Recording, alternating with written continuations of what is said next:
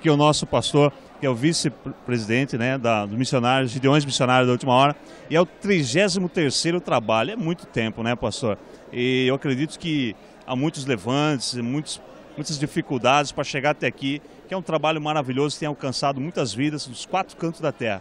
Como que é fazer esse trabalho? Sabemos né, que passou aí um, uma dificuldade muito grande com seu pai aí esses dias, na verdade. Hoje está aí, deu uma saudação aí muito forte, uma palavra abençoada. Nós vimos o poder de Deus sendo derramado, pessoas sendo batizadas com o Espírito Santo.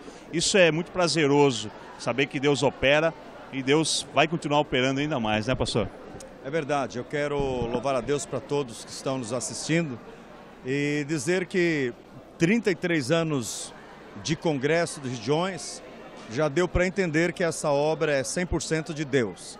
Uma obra que cada ano que passa aumenta o número de pessoas, de congressistas, e o trabalho dos Gideões não se resume no Congresso dos Gideões. Esse é o 33º, mas Gideões existe há 35 anos.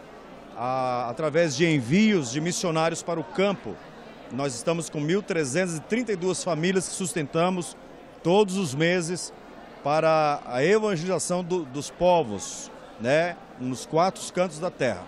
Por isso, existe o Congresso dos Gideões, que é uma confraternização de um povo admirador dessa obra, um povo que estão sempre contribuindo e que admiram o trabalho do pastor Cisino, do pastor Reuel, de toda a nossa diretoria e desse povo lindo aí que estão sempre vindo nos congressos. Muitas pessoas vêm de caravana de todos os lugares. É, nós podemos ver aí a comoção de cada uma lá fora mesmo no decorrer dos dias. Nós vimos que pessoas se manifestam o poder de Deus muito forte e as pessoas são impactadas pelo poder de Deus. Isso é, é, é emocionante até para nós, né, fazendo a matéria, saber que desse movimento maravilhoso Deus opera grandiosamente, né, pastor? E há muitas vidas sendo curadas, muitas vidas sendo transformadas, até mesmo pelas redes sociais, né, internet, na verdade. E é um trabalho, é um projeto transmitido ao, ao vivo, né? Então nós sabemos que muitas pessoas têm contribuído e muitas pessoas têm sido abençoadas, não é verdade? É verdade. O trabalho dos Gideões Missionários da Última Hora, ele tem um foco, o um único foco.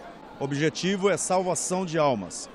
E como você falou anteriormente, no início da nossa fala, sobre as retaliações. Sofremos sim retaliações por quê? Não é um mero encontro de pessoas, não é um mero congresso, um congresso a mais. Não, é um congresso de uma organização missionária. O que, que é essa organização missionária? É o objetivo de saquear o inferno e encher os céus de almas salvas e redimidas no sangue do Cordeiro.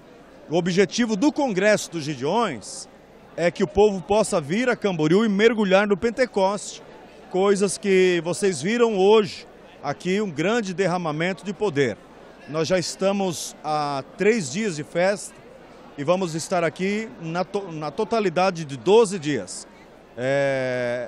Para quem não está na liderança, parece ser fácil mas nós somos seres humanos, a gente cansa, só que é gostoso. O corpo físico, ele pede socorro às vezes, para que a gente dê um timezinho, que dê um descanso, mas não tem como. É todos os dias eu saio daqui agora, tomo uma ducha em casa, descanso um pouquinho, às 8 horas da manhã, já vindo para o ginásio novamente. E temos três eventos simultâneos. É aqui no pavilhão, ginásio de esporte e uma tenda aqui ao lado do pavilhão também que dá mais de 3 mil, 4 mil pessoas. Então é a cidade tomada. É só para o povo todo entender que estão nos assistindo. É, Camboriú, a nossa cidade, está chegando na casa de 80 mil habitantes. E congressista chega a 150 mil pessoas. Então você entender que vem o dobro de pessoas, ou um pouquinho mais, para Camboriú. É um projeto de Deus ou não é? Deus usa as coisas pequenas para confundir as grandes. Muito bem, isso é Missões, junto aqui com vocês, com o pastor, segundo né, vice-presidente pastor Reuel Bernardino, vice-presidente aqui do Gideões, junto com vocês aí com essa entrevista maravilhosa. Muito obrigado por essa oportunidade. A Missões TV fazendo parte dessa parceria, levando o nome do Senhor também nos quatro cantos da terra. Parabéns pelo projeto, por, por esse trabalho, meus parabéns ao seu pai. Espero também poder estar entrevistando ele aí, tá bom? Parabéns, Deus abençoe você, seu ministério e a sua família, amém? Eu é quem quero agradecer essa oportunidade de você me dar de poder estar aí ocupando os telespectadores, essas pessoas queridas online que estão nos assistindo aí. Deus abençoe por estarem conosco aí. O nome do programa é Missões TV, Missões TV no 33º Congresso dos Gideões Missionários da Última Hora. Deus abençoe. Maravilha, falou aqui o vice-presidente Reuel Bernardino, junto com vocês aí na programação da Missões TV.